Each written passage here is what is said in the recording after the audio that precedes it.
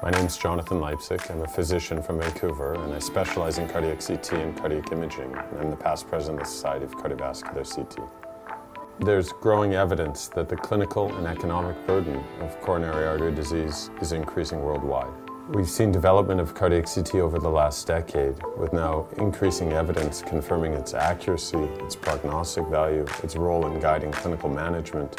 All of this evidence has led to a shift in the guidelines where now cardiac CT is recommended as a first-line test for patients with suspected coronary artery disease. Cardiac CT is a unique non-invasive test in that it allows us to evaluate cardiac anatomy, allows us to identify cardiac pathologies, and in particular, it allows us to evaluate and characterize coronary stenosis as well as coronary atherosclerosis. In addition to CT scanners, Philips offers an advanced visualization platform that allows for multimodality imaging and is vendor agnostic. This plays an important role across the coronary disease and cardiac CT diagnosis spectrum.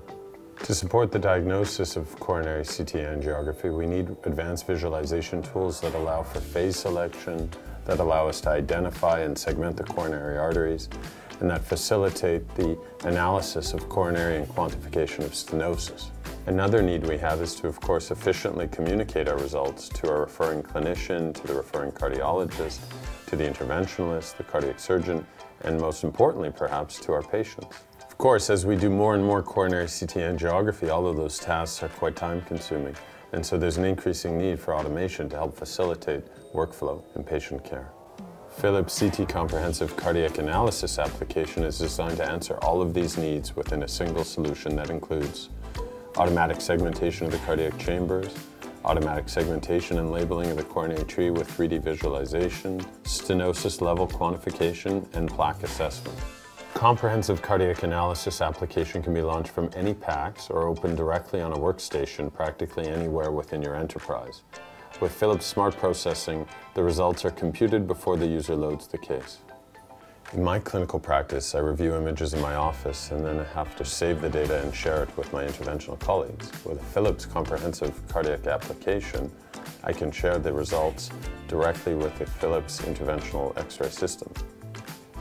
With the rapid pace of change and the fundamental and key role of non-invasive imaging, we as non-invasive cardiac imagers need a solution that is consciously getting updated. With the Philips CT Comprehensive Cardiac Analysis application, this is a solid solution which is in fact informed and continuously improved on the basis of customer feedback.